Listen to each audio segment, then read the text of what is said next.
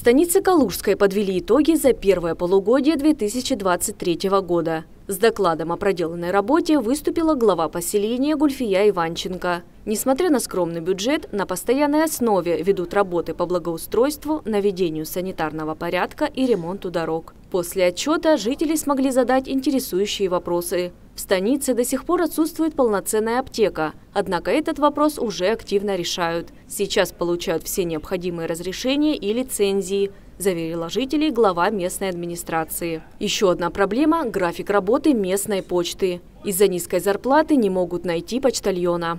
Сейчас почта в ближайшее время будет организована доставка силами западного почтамта.